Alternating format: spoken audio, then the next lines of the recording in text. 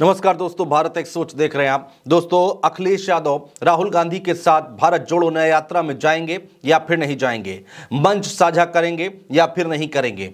ये काफ़ी दिनों से ये चर्चाएँ चल रही हैं और लोग सवाल उठा रहे हैं कि आखिर तस्वीर क्या है? आखिर माजरा क्या है? क्या अखिलेश यादव जाने वाले हैं या फिर नहीं जाने वाले हैं? इसको लेकर अब अखिलेश यादव ने साफ़ कर दिया है। मीडिया के सामने आकर अखिलेश यादव ने बता दिया है कि वो क्या करने जा रहे हैं।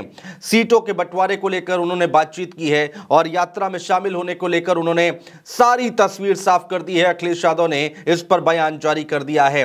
दोस्तों, सबसे पहले हम आपको बताते हैं, कुछ दिनों पहले आपको ले चलते हैं और जो भारत जोड़ो न्याय यात्रा को लेकर और सीटों के बंटवारे को लेकर अखिलेश यादव ने जो बात कही थी, वो हम आपको बता रहे हैं। सबसे पहले, यात्रा में शामिल होने को लेकर अखिलेश यादव ने क्या कहा था दोस्तों, वो सुन लीजिए। अखिलेश यादव ने कहा था कि आदरणीय श्री खरगे जी सादर प्रणाम। आपका भारत जोड़ो न्याय यात्रा में सम्मिलित होने का निमंत्रण मिला है।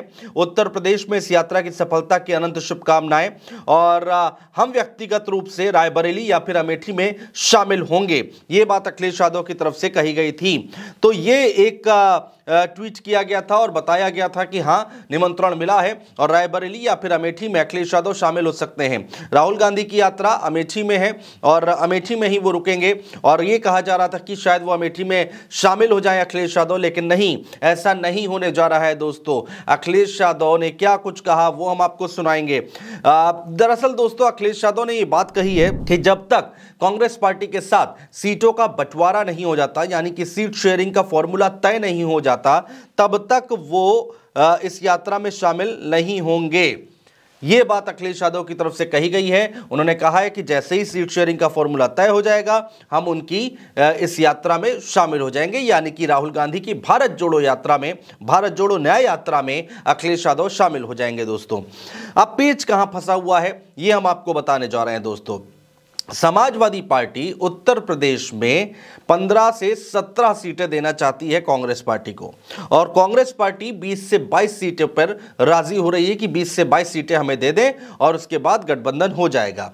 तो मात्र ये चार पाँच सीटों का जो अंतर है, इस पर बातचीत फंसी हुई है। और कांग्रेस पार्टी ये चाहती है, बहुत सारे उत्तर प्रदेश में मुस्लिम बहुल इलाके हैं जहाँ पर कांग्रेस पार्टी चुनाव लड़ना चाहती है। और साथ ही साथ समाजवादी पार्टी भी उन्हीं सीटों पर चुनाव लड़ना चाहती है यानी कि अपने सिंबल पर प्रत्याशी उतारना चाहती है।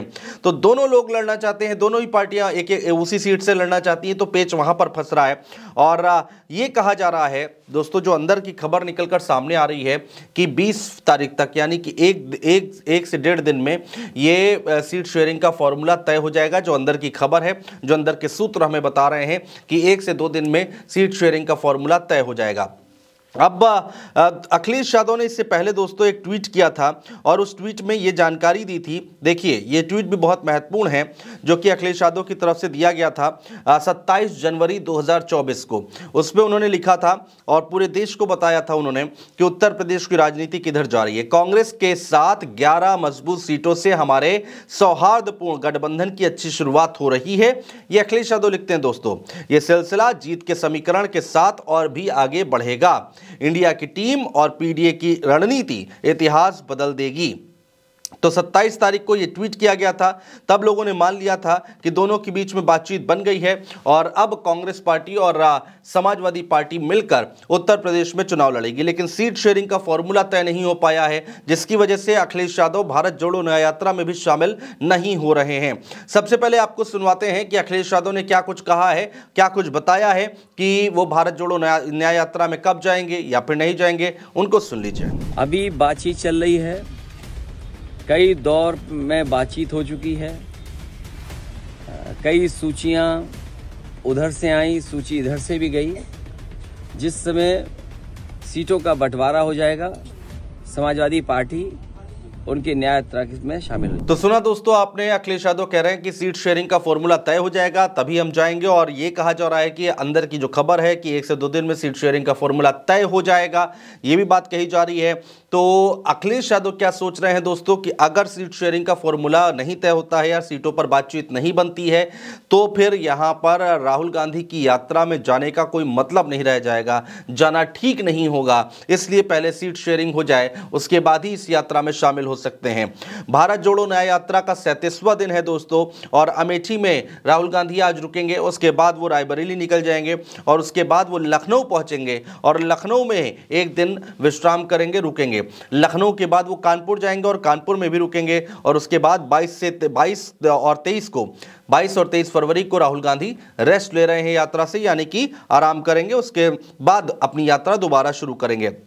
अब सवाल यहाँ पर ये उठता है दोस्तों कि अगर इन एक से दो दिनों के बीच में सीट शेयरिंग का फॉर्मूला तय हो जाता है तो क्या ये माना जाए कि अखिलेश यादव रायबरेली लखनऊ या फिर कानपुर। इन जगहों पर किसी जगह वो शामिल हो सकते हैं क्या? क्योंकि अखिलेश यादव ने ये कह दिया है कि जैसे ही सीट शेयरिंग का फॉर्मूला तय हो जाएगा, वो इस यात्रा में शामिल होंगे। तो रायबरेली लखनऊ और कानपुर। कानपुर के बाद उत्तर प्रदेश से ये यात्रा निकल जाएगी। तो उसके, उससे पहले ये कहा जा रहा है कि अगर सीट शेयरिंग तय हो जाती है, सीटों का बंटवारा तय हो जाता है तो अखिलेश यादव इन जगहों पर जाएँगे क्या? इन जगहों पर जाकर शामिल होंगे क्या? ये बात निकलकर सामने आ रही है। बहुत शुक्रिया दोस्तों।